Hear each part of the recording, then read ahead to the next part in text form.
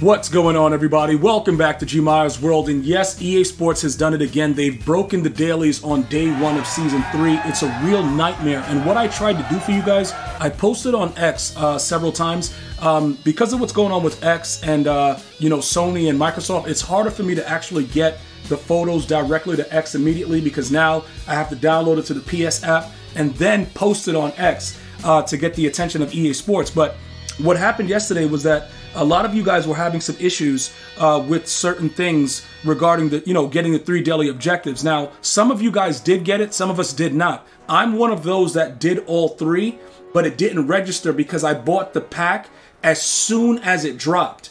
Right? You had to wait a little bit for it to reset. It was really stupid. So if you waited and got on later, you got credit for all three, but a high majority of us did not get all three, which means we're going to be one day behind with the 50 day uh, tracker. But I'm to tell you guys how it doesn't really matter. We're going to still grind for it and we're going to be all set regardless because that's what we do here at GmiasWorld and everything's to work out well. So typically what happens, right? They're going to give us enough time. This is going to bring us into the new year, right? This is like all of zero chill, all that because it's 50 days to get all of the stuff, right? But with the way that they've done this, this is what's really important. The objectives that they've been giving us to kind of offset everything that happens is very, very important. Um, they've made it a little bit more tedious as it goes along because they want us to rage. Uh, it's definitely uh, the intent of the developers to make you hate the game with the way that they do this uh, because some of the things that they ask you to do is ridiculous. Like, yo, punt the ball, throw a pass, run the ball for 17 yards all in the same play. Like, it's real stupid what they're doing. But again, it's part of the grind. So this is what I want you guys to understand. If you're not up to date with the way that this works, you're gonna have to focus in on what they're doing. Now, they've already used the three AKA players prior in previous, um, you know, milestones and stuff like that, but they brought it back again early now because I'm doing this video prior to the release of Harvest. More than likely, week two might be three Harvest players. And then they may change it up depending, it might go to zero chill. Remember, it's 50 days involved right? So for those of you guys that have been rocking with me, I want you to put season three in the comments, right? Because you got all of this from your exchange token from season two. So just let me know what happens because you should have gotten that boost right away with the 20,000. I didn't get to play a lot yesterday, so I didn't really get to grind out a lot of the other things. And also additionally, I did not get everything that I was supposed to get um, out of the daily. So we're a little, like I said, the one day behind is not really that big of a deal because we had the token from season two. So we already got that 20,000 and, you know, pretty much as a head start. But primarily the daily is going to be huge, not only because of the fact that they've upgraded the strategy items, but you do get the credit when it comes to the XP. Now, this is also very important, right? If you did not finish um, the actual competitive pass, for whatever reason, because I max mine out, I am getting reports that a lot of you guys are still able to get the remaining XP that is in there. Now, you only have a day left to do it. So if you had a few of them left, you could probably get it. Like if you have anything like that, I was getting posts where people were getting the XP and it's boosting them up and stuff like that. For me, it was worth it getting this 91 and not waiting until the last minute because what EA Sports is going to do, a lot of you guys that are watching this video will not be able to unlock that whether it's because of the broken solo battles or whatever it is. By the way, a lot of you guys, we were able to help you guys uh, get some 88 overall All Madden cards. And additionally, I walked you guys through the MUT Champs. For those of you guys that absolutely hate playing head to head. I walked you through it, and a lot of you guys were very happy that I did. You were able to get that 91. So I'm not really worried about um, the fact that I maxed this out because as of tomorrow, it'll be a whole new competitive pass, and we'll be grinding through and leveling up regardless. So it doesn't really matter. Okay, so as far as the broken, you know, dailies and stuff like that, don't worry about that. We're going to focus in on getting the other stuff done right now with the week one because this by itself is going to net us 12 times 4, which is 48,000. All right, so we got to focus in on this. Now, the easiest and the most simplistic way to do this is to put the players in your lineup and then go into a solo battle and do it on easy. Okay, I'm going to say that again. Right now, we only need a few. Remember, these are like statistical things that unless it tells you um, anything outside of it, you can do it in a solo battle. And most of the ones that they want with the head-to-head, it's also a solo battle right? So score two or more TDs in 20 head-to-head -head games. The only thing that makes it annoying is the way that you have to play the games. You know what I'm saying? Like you can't just do it all in one game. But these you can do in all, all in one game. You know what I'm saying? The only thing about it is you would have to score and then let the player, you know, the, the CPU kick the ball up to you and get all those kickoffs up to 300 yards in the one game. You, you know, obviously I was playing head to head a couple games yesterday, so I got some of that. But it's very, very simplistic. The biggest thing about it is because I have a 50 a 50 um, AKA team, this is where I get a lot of concern. Like, yo, gee, how am I supposed to do this? Well, what you do is you don't play a regular game. Like I said, you go into a solo battle on easy. So, for instance, um, I think I still have.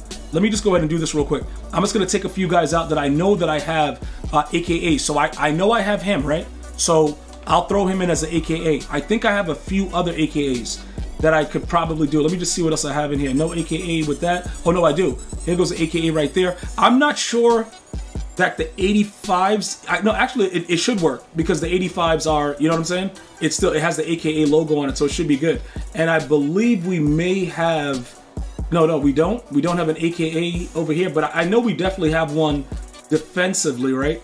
So let's go ahead. Oh, maybe a wide receiver, probably. Let's see if we have one that's a wide receiver. No AKA wide receivers either? All right, so we would have to actually go and get one. Or to make it easier, guys, th this is pretty much what I usually do. I just go into my items and I just search by, you know, the actual program, and then it gives you everything that you have there. So that way it's a lot easier for everybody. So let's go over there and do that. Oh, Sauce Gardner. He's in the lineup already. All right, so that's three because I have the Sauce Gardner, I have the quarterback, and then I put the tight end in there. So once I go into a solo battle, you know, regardless of me not having the most feared, I'm playing the CPU on easy. It doesn't matter. You know what I'm saying? You go into the you go into the um, solo battle on easy. So right here, let's just go ahead and take a look at it one more time. Milestones. We go to week one. Okay, we got to get you know a few more of the touchdowns. We got to get like 640, uh, 645 with the touchdowns. Um, I mean not the touchdowns, the rushing yards. We got to get 14 field goals, and then we got to get 300 yards you know, with uh, return punts or kickoffs. So very, very simplistically, you just go into um, the solo battles here.